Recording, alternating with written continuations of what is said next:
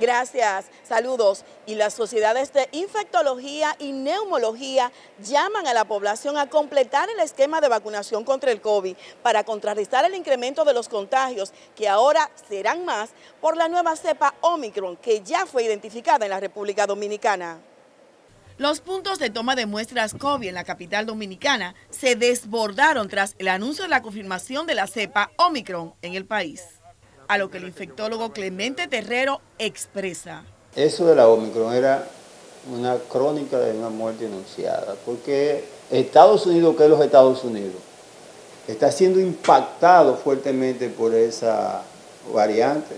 Precisa que la llegada de visitantes en esta época del año ha provocado que el virus se haya sembrado en el país, por lo que se está abriendo la puerta a la quinta ola.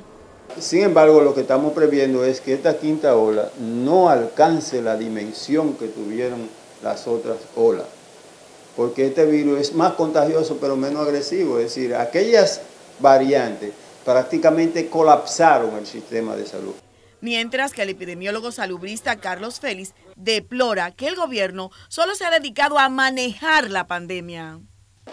El gobierno lo que se ha dedicado es a asumir una actitud evolutiva de la pandemia, que la pandemia evolucione.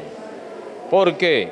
Bueno, sencillamente porque el gobierno no se ha acogido a los métodos epidemiológicos sanitarios para usted contener una pandemia. Y critica que se comience a promover la cuarta dosis para contrarrestar el Omicron cuando aún no se completa la segunda.